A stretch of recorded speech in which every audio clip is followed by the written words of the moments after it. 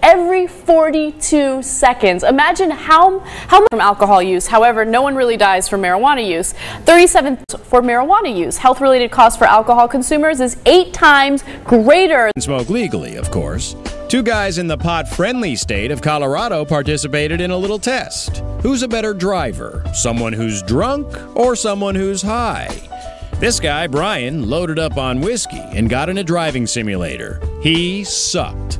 This guy, Justin, who is prescribed the green, lit up, then took a stab at the simulator. He hasn't shown any degree of uh, impairment that I could notice. Deter- do the best thing for her. You see, Brian Wilson's daughter, Vivian, was dying. Her brain continuously locked in seizures, and nothing had worked. The Wilsons were now pinning their hopes on medical marijuana.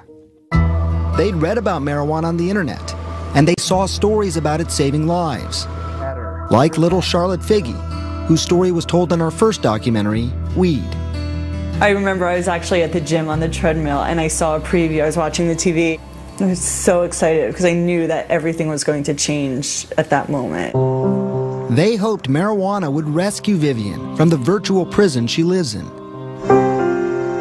where bright lights, loud sounds, and patterns can all induce a seizure. That's why she wears that patch on her eye. I say if Vivi could be blindfolded, she'd be seizure free because it's everything. It's all visual stimuli. She can't leave the house. Vivian, do you know this book? Vivian and I first played together in her darkened, quiet, very controlled bedroom. It quickly became clear how tremendous a toll this isolation takes on Vivian. But also the entire family. No one here has a normal life including Vivian's older sister, four year old Adele. Like every day on the way home from school, she's like, Can we stop at the park? And I'm like, We can't stop at the park because Vivian's nurse leaves at five and we have to be home. What, what would Adele say about that? She'll say, We can't. When we pass the park, she says, Those kids are at the park, but we can't go to the park because Vivian has seizures. And it like kills you, you know? They're so severely affected. New York University neurologist Dr. Orrin Devinsky is Vivian's doctor. He's also one of the world's leading epilepsy experts. I think for the families who have given Western medicine a really good chance, and there are a lot of them, and, and Western medicine has failed their children. But the Wilsons now law. Marijuana is illegal federally.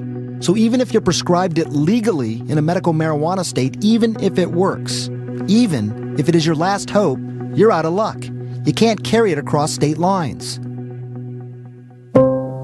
Into her mouth. Good job, sweetheart. now they just watch and wait.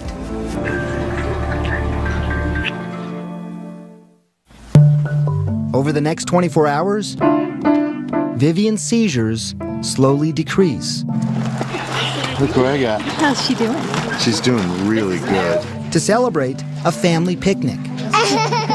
Outside, filled with activity, balloons with patterns, decorations, and lots of sunlight. Any of these things could have previously induced a seizure. It's an emotional moment for a dad, watching his daughter finally have freedom. She used to be able to do this outside, but not. This is what I'm starting on, yeah. Come here. Brian believes the marijuana is working. But as you're about to see, Vivian is by no means cured.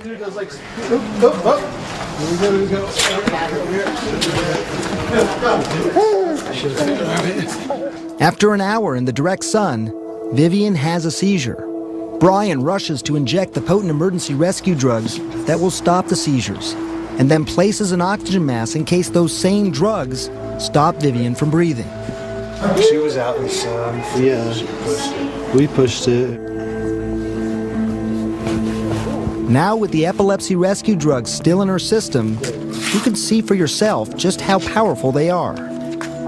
She's absolutely doped up right now, though. Like, watch her trying to walk, watch her trying to do anything. This is difficult to watch, but it does raise this important point. The traditional drugs used to treat epilepsy can be more dangerous than cannabis. Vivian's doctor, epilepsy expert Orrin Devinsky. I think one of the reasons marijuana is probably safe is, is related to the cannabinoid receptors, which, if you have too much stimulation or inhibition of them, they don't shut off breathing or respiration. And that's key. The current potent epilepsy drugs impact many parts of the brain, including the brainstem. They can essentially shut off the body's vital functions if you take too much. Marijuana does not do that. And that's why it's virtually unheard of to have a marijuana overdose. It's one of the reasons so many doctors are starting to change their minds on cannabis. But we are talking about children, young children, and that's going to understandably raise concerns. The latest research shows that some strains of marijuana do have a profound effect on the brains of users under the age of 25. THC in some good studies has been linked to psychiatric disorders, memory disorders in children under age 16. So we, even though it's low THC content, it's still THC is more potent than CBD, so there may be long-term side effects.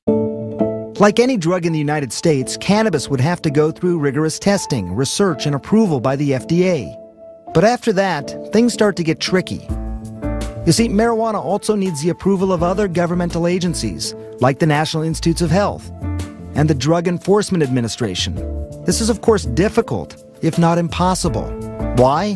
Because in the United States, marijuana is illegal and classified by the government as a Schedule 1 controlled substance. That means it is considered to be among the most addictive drugs and is not recognized as having any medicinal benefit. And that's why what I'm about to tell you is so ironic.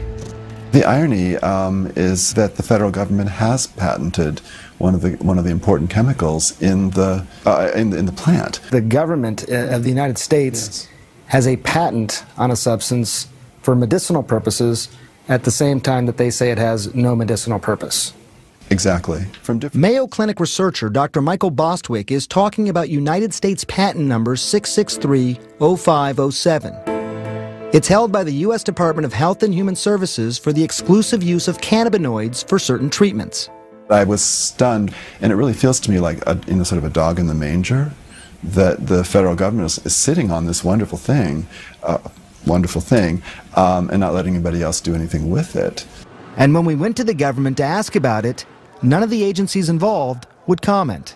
We're being handcuffed by the government, preventing us from doing the right trials. In fact, a 2013 search through the U.S. National Library of Medicine revealed 2,000 recent papers on marijuana. But the majority of them explored the harm. Only 6% investigated the benefits. Many believe that's the result of a draconian system gone awry. In fact, 15 more states are now considering legalizing medical marijuana. There are the people in this room who need the immediate gratification of that drug. The ever growing support of mainstream medicine doesn't hurt. In a recent poll of nearly 2,000 doctors, 76% said they're in favor of using medical marijuana for a needy patient. Now, six medical marijuana states have expanded their laws to allow card carrying medical marijuana patients to bring cannabis medicine into their home state. Yet, unfortunately for the Wilsons, New Jersey is not one of them. It will not happen on my watch ever. I am done expanding the medical marijuana program. Literally the same hour he said that, our friend's daughter was taken off a ventilator after a 26 hour seizure. 15 months old. I heard that. And you're like, yeah, that, that could be Vivian, you know? Was this a battle that was won? Clearly, we're here now. Vivian does not have what she needs in New Jersey, so in that respect, we didn't win, but there's a conversation going on and people are talking about medical marijuana a lot more. How great!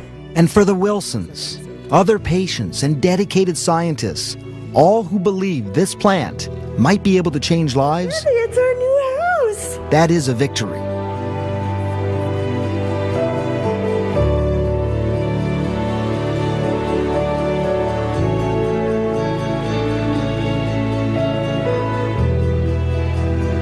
Final round.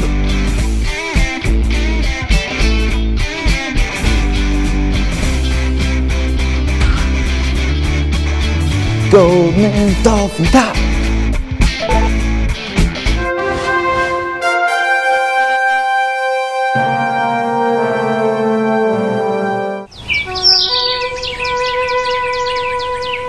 One thing I didn't even take into consideration when we were doing this is how fucking hungover I'd be the day after. I feel pretty good. I slept really, really well. My head hurts.